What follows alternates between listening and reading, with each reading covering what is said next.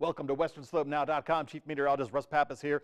We do expect some clearing sky during the overnight hours into Monday morning. Will be partly cloudy, but also we'll get some clearing. The clear sky will allow our low temperatures Monday morning to dip dip out of the 30s where we've been lately and get chilly. Mid 20s for Delta and Montrose, upper 20s at Grand Junction. Another thing you might want to concern yourself with along with these chilly temperatures Monday morning will be the icy spots, whether it's the sidewalk or the roadways. We did get some precip over the valley locations from this storm system and it's going to freeze over tonight. So please be careful when you get out early Monday morning. Monday itself is going to be nice. We have a nice southwesterly wind coming at us. That's going to help boost our temperatures up about 10 degrees compared to where we were on Sunday mid 50s. That's a pretty good number for many locations along the Highway 50 corridor. Uh, we will see partly cloudy skies, breezy conditions, and dry conditions on Monday. We do have an approaching storm system. Uh, I'll be looking for added cloud coverage Monday night ahead of it, and likely uh, some, some snow in the mountain zones. Tuesday itself is the unsettled day, and it's short lived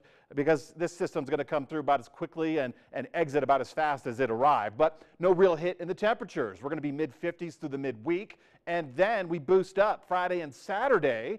Uh, yeah, you know the trend. We get warmer and breezier ahead of our storm systems. So Friday and Saturday, expect breezier conditions, dry conditions. Could even see some red flag warnings for fire weather concerns. However, near 70 degrees for those days, and that's ahead of our late weekend, early next week storm system.